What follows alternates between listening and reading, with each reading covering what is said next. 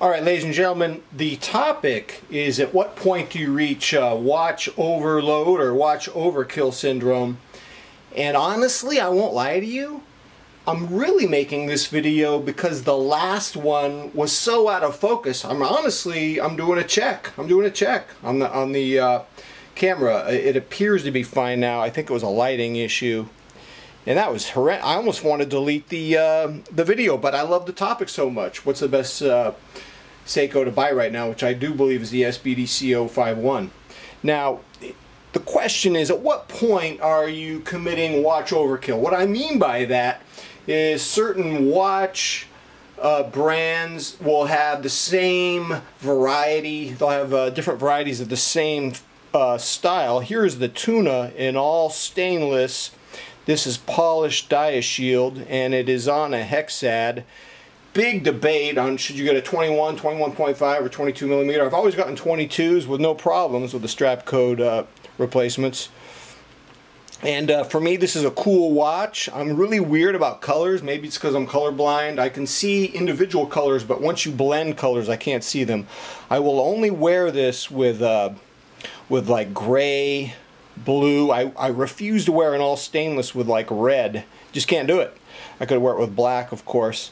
And uh, I don't feel like I'm committing overkill having it with the um, with the 031. I guess the lighting was the issue on the last one because uh, I'm not seeing any focus problems. Here, I would wear this with red, with uh, any kind of warm color. I, I would feel more comfortable uh, wearing the black uh, bezel. Now here you're not getting polish on the tuna can. You're getting uh, stainless steel. And again I I have this on the Hexad I'll, I'll be honest with you. The stock bracelet on this for me is not comfortable. There's a bulge in the clasp and the plates they dig into my wrist. And I've had end mills. I've had super engineers which are fantastic but the Hexad is my very favorite and so I, I, don't want a third. To me, getting a third tuna is going to be overkill. I will go crazy. All right. I got two of these bad boys. I got the uh, 051, which, considering the price point of about 750, 730, something like that, 760, probably the I, I would say this is the best Seiko you can buy right now. As I said in my earlier video, this is the Seiko to buy if I had no Seikos at all in my collection because I do like I, I, do have a need for dome sapphire and uh, the lume is excellent. Now this is on the stock Diashield bracelet and uh, I love it so much that uh, I got the blue. Come on we had some focus issues last time Mr. Blue. We get okay come on I'm gonna okay there we go. I'm not even gonna touch you dude. You are in focus. This is the blue 053 version. Now I'm totally intrigued by the green, but I won't do it. To me, it's overkill.